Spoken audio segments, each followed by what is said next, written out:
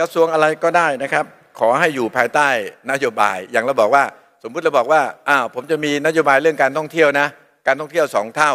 นะครับ ถ้าให้เราคุมกระทรวงท่องเที่ยวกีฬาเนี่ยเราก็สามารถที่จะผลักดันได้ หรือเราบอกว่าเรามีนโยบายนะกองทุนซอฟต์พาวเวอร์นะครับหนึ่งหมื่นล้านเอาซอฟต์พาวเวอร์มาเป็นพลังทางเศรษฐกิจ เรายินดีเลยนะครับที่จะไปอยู่กระทรวงวัฒนธรรม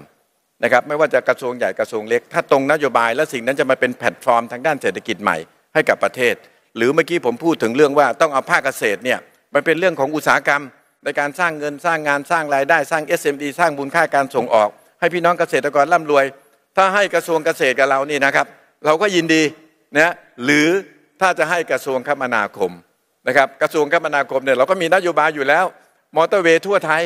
นะครับโคราชมอเตอร์เวย์ต้องเปิด หรือเราสามารถที่จะต่อเส้นทางคมนาคมเนี่ยที่เชื่อมโยงไปถึงเมืองจีน นะครับแล้วก็สร้างนโยบายโคราชโนมิกส์ของเราให้เกิดขึ้นนะครับฉะนั้นไม่ว่าจะอยู่กระทรวงไหนนะครับ เราก็คิดว่าขอให้เราได้มีโอกาสทำงาน และให้เป็นกระทรวงที่สามารถที่จะมาผลักดันนโยบายต่างๆนะครับเพราะว่าเรามีนโยบายที่สำคัญมาก เช่น นโยบายของสเปกตรัมอีโคโนมีนะครับการสร้างเศรษฐกิจใหม่ ที่จะอยู่บนพื้นฐานจุดแข็ง ที่เมื่อกี้ผมบอกไปแล้วนะครับ เกษตรอาหารท่องเที่ยวซอฟต์พาวเวอร์นะครับเราก็สามารถที่จะผลักดันสิ่งนี้ได้